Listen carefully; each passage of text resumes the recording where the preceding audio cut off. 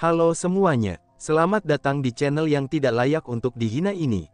Sebelum kita mulai, atur posisi santainya, seruput kopinya, dan mari kita berhayal. Melihat pria muda yang pergi ke kamar dengan dua orang wanita, pria tua itu hanya menggelengkan kepalanya saja, dia tahu sifat tuan muda Neng Li dari sekte neraka ini, dia memang sombong, suka bersikap berkuasa, dan juga suka indehoi dengan wanita. Walaupun dia yakin bisa memenangkan pertandingan besok, tapi ada sesuatu yang membuatnya merasa tidak enak, bahkan entah kenapa, pikirannya menjadi tidak karuan, huuf, Semoga saja besok kita bisa menang, karena ini juga sangat penting bagi sekte, jika kita gagal, maka baik aku maupun tuan muda, mereka berdua pasti akan dihukum, pikir pria tua itu. Pria tua itu adalah penjaga Neng Li, dan dia berada di tahap alam abadi tingkat pertama, dia diperintahkan untuk menjaga Neng Li dari semua hal buruk yang akan terjadi, tapi melihat sikap tuan mudanya ini, dia hanya mendesah dan pergi dari sana untuk mempersiapkan tim yang besok akan ikut pertandingan, sekalian untuk berjaga-jaga tentang hal yang tidak diinginkan di pertandingan besok. Setelah pria tua itu pergi, sesosok pria muda lain muncul dalam gelap, dan memegang sebuah jimat di tangannya. Hehehe, sepertinya ada seorang pelindung di dekat tuan muda sekte itu, ai, aku tidak bisa bergerak untuk melakukan sedikit pembicaraan dengannya, dan hanya bisa menunggu, ucap pemuda yang baru muncul, dia adalah Sukun, dan dia sudah melakukan pengintaian terhadap sekte neraka semenjak mereka datang ke sini, dan dia ingin mengetahui rencana dari mereka. Eh, adikku sepertinya sedang bersama dengan murid Master Sekte S, dikatakan bahwa dia adalah wanita yang sangat cantik, dasar anak kecil yang beruntung, waktunya pergi, mari kita lihat saja besok, jika orang itu berani mengganggu adik dan adik iparku, aku akan melepaskan panahku padanya sampai dia mati, ucap Sukun dengan senyum jahat di wajahnya. Dia lalu menghilang dari tempat itu, dan bahkan tidak ada yang tahu kalau ada seseorang yang sedang menguping pembicaraan tuan muda dan orang tua itu. Keesokan harinya, di arena yang sangat besar dan luas, itu sudah berkumpul banyak orang di bangku penonton, di tengah arena itu, ini adalah tempat yang akan diadakannya pertarungan antara Kekaisaran Wu dan dua kekaisaran lainnya. Di tempat VIP, tepatnya di bangku khusus di arena itu, ada beberapa orang yang duduk di sana.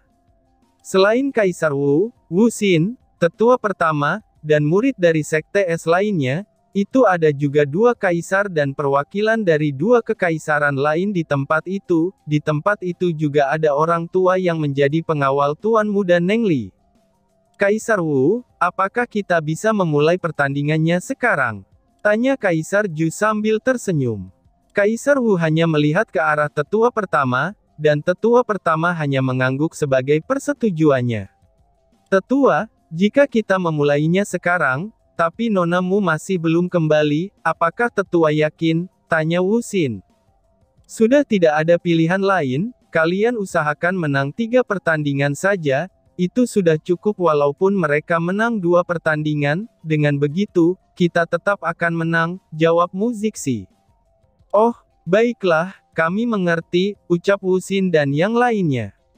Tentu saja, Mari kita mulai, balas Kaisar Wu sambil mengangguk kepada wasit yang ada di arena. Baiklah, pertandingan pertama silahkan maju, ucap wasit. Mu Yin, Mu Yun, Wu Xin, dan pangeran kedua, mereka tidak ada yang maju, karena mereka ingin melihat siapa lawan pertama yang akan maju, barulah mereka memilih siapa yang cocok di antara mereka. Hehehe, biarkan aku yang pertama, teriak seorang pemuda berbaju kekaisaran. Dia maju ke arena sambil memperlihatkan kesombongannya, dan dia adalah putra dari Kaisar Rong yang baru berumur 18 tahun, tapi dia sudah berada di tahap kelima alam langit, dan namanya adalah Rongru. Ayo sini maju, siapa yang pertama dari kalian, teriak pemuda itu. Para warga dari Kekaisaran Wu sedikit marah, dan kemudian berteriak. Kalahkan dia, beri dia pelajaran atas sikap sombongnya. Iya benar, kalahkan dia. Berbagai teriakan marah terdengar di sekitar arena itu, baik itu Muyun, Muyin, dan yang lainnya juga mengerutkan kening mereka. Tetua, biar aku saja yang maju, ucap Muyin. Baiklah, kamu berhati-hatilah, balas tetua pertama. Oke, ucap Muyin, lalu Muyin maju ke arena, melihat Muyin yang maju, itu membuat mereka kaget, karena wanita itu berasal dari Sekte S, dan dia juga cukup menawan. Hahaha, aku tidak menyangka, ternyata seorang wanita yang maju, ucap Rongru. Mari kita mulai, balas Muyin dengan tenang. Menarik, ucap Rongru, senyum jahat tergantung di wajah Rongru.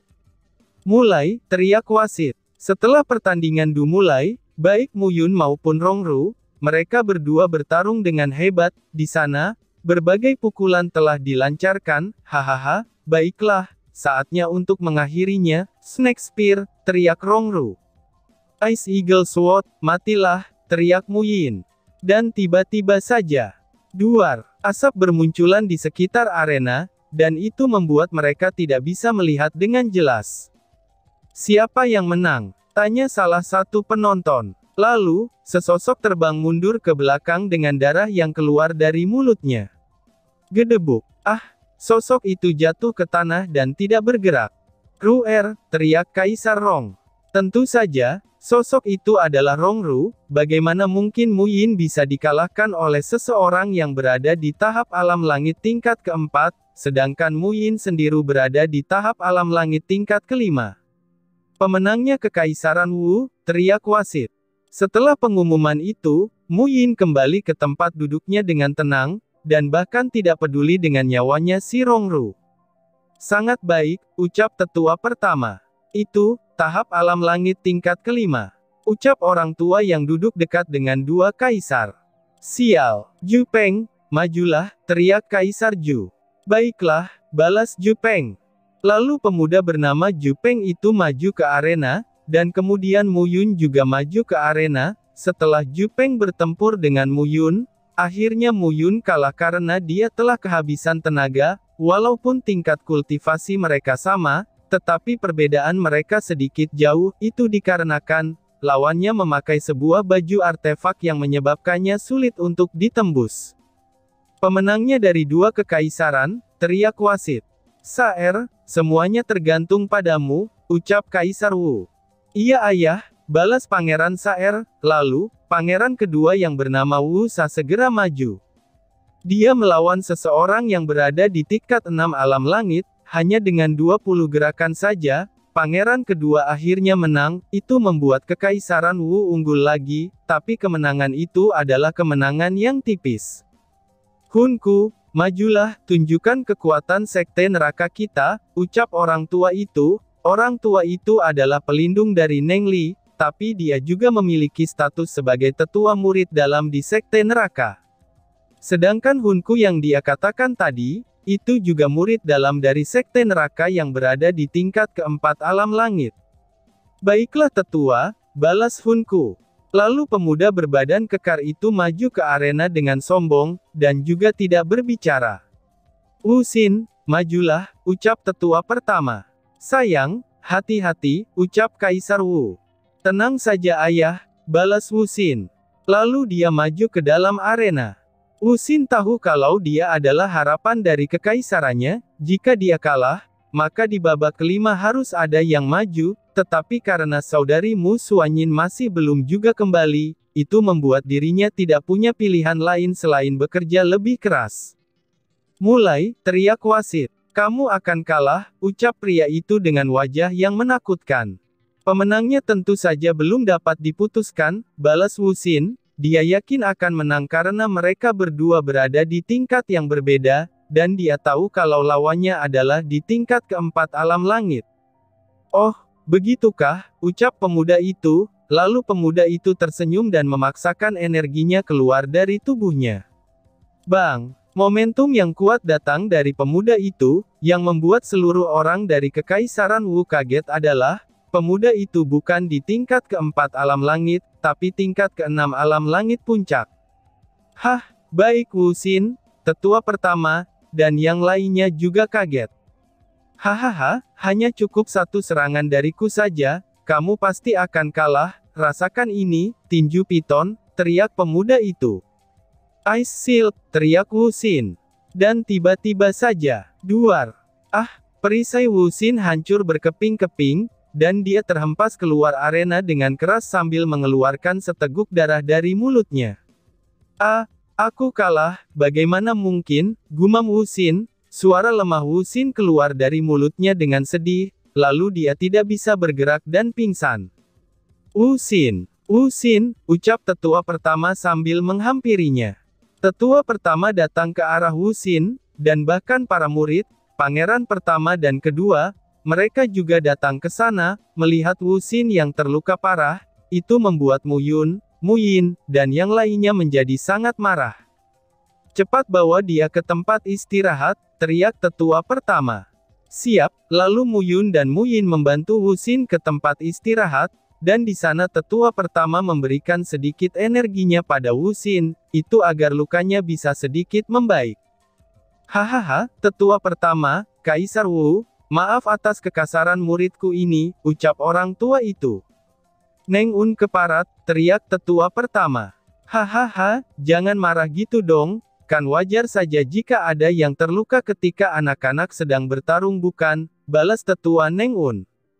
Tetua Neng Un benar, jangan terlalu difikirkan, lagi pula Nona Wu Xin tidak terluka cukup parah, dan mari kita mulai babak penentuannya, ucap Neng Li yang ada di sampingnya. Apa maksudnya dengan tidak terluka cukup parah, tulang-tulangnya patah semua karena serangan itu, teriak Jiang Xiaoyao karena marah. Kakak Jiang tenanglah sedikit, yang terpenting saat ini adalah bagaimana caranya untuk menyembuhkan Wu Xin, ucap Yun Ying yang menenangkan saudari seniornya ini. Iya kak, kakak tenanglah sedikit, ucap Surong yang juga mencoba untuk menenangkan dia, dan Mu Yin juga sedikit emosi. Oh, itu berarti dia tidak cukup kuat, baiklah kalau begitu, aku akan maju, siapa yang akan menjadi lawanku? Tanya Neng Li.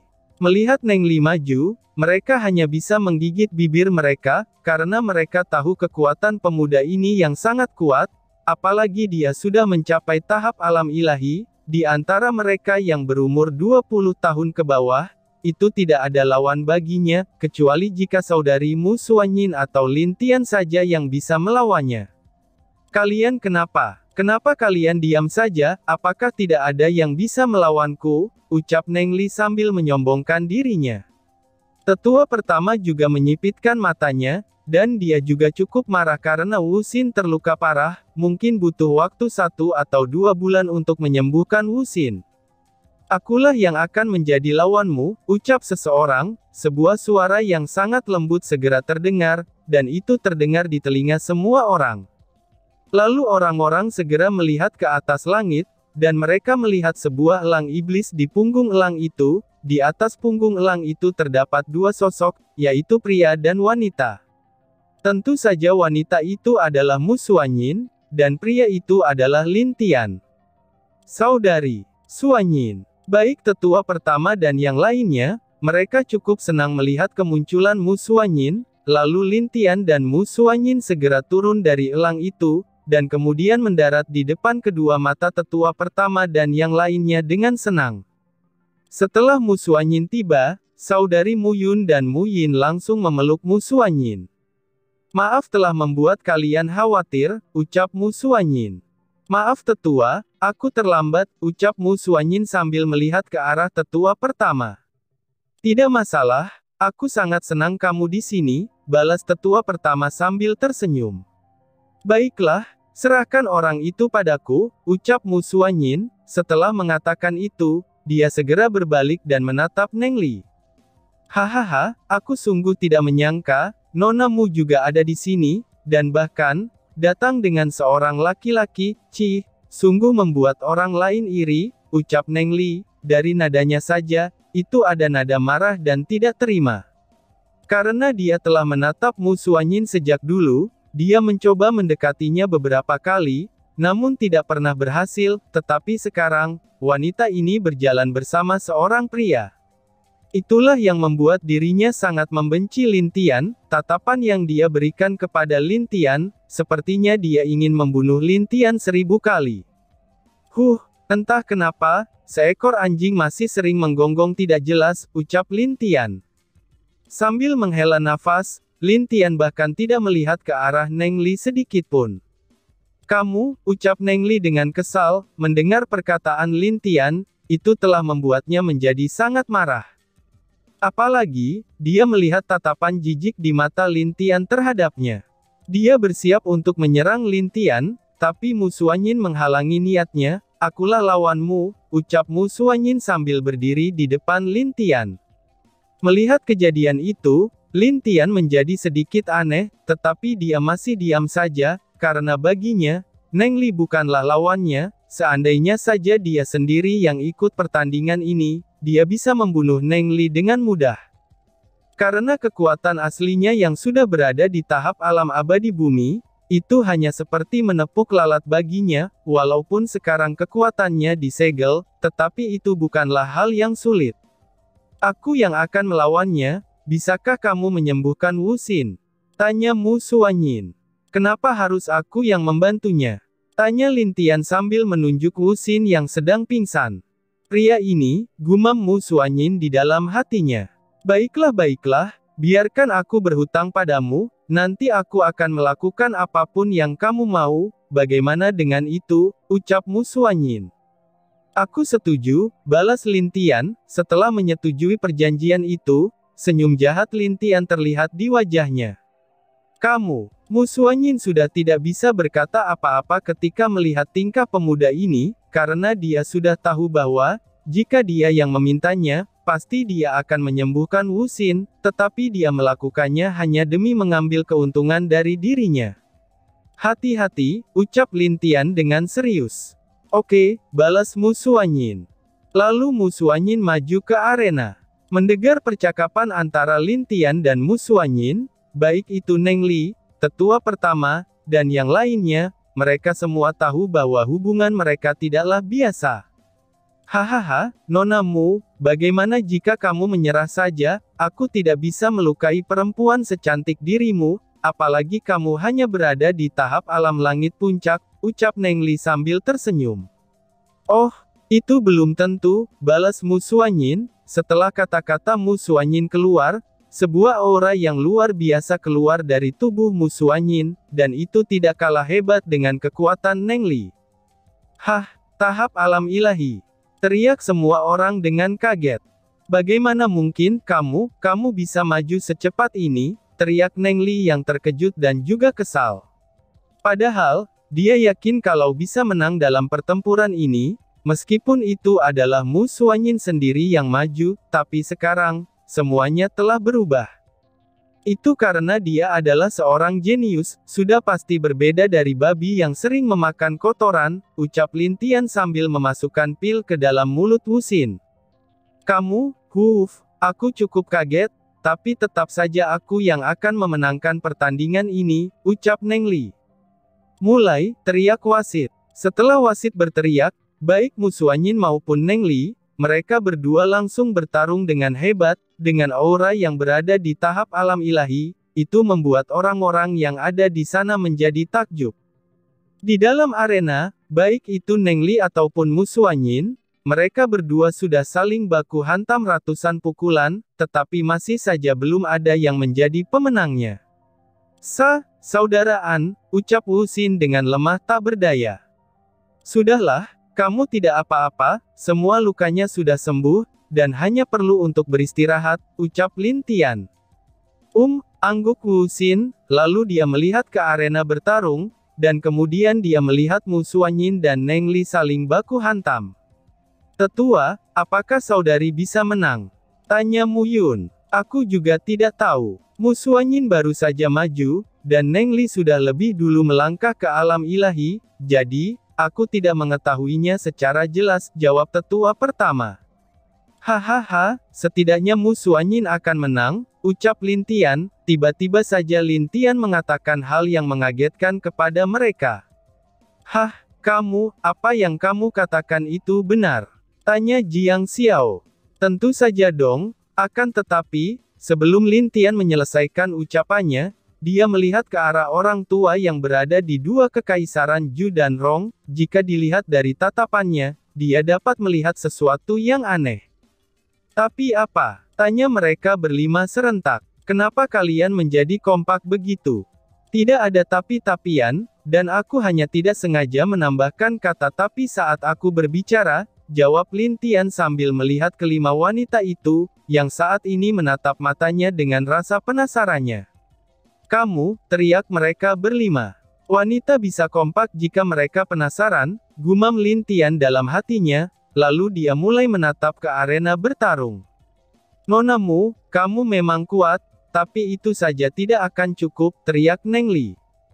Terimalah seranganku nonamu, pedang kegelapan, teriak Neng Li sambil mengayunkan pedangnya, pedangnya mengeluarkan tebasan yang sangat gelap, dan sangat mirip dengan kegelapan. Sing, Orang lain yang merasakan serangan itu menjadi kaget, karena serangan itu cukup kuat, dan jika terkena serangan itu, mungkin Musuanyin pasti akan terluka. Saudari, awas teriak Muyun dan yang lainnya. Dan tiba-tiba saja bersambung. Sekian dan terima kasih banyak.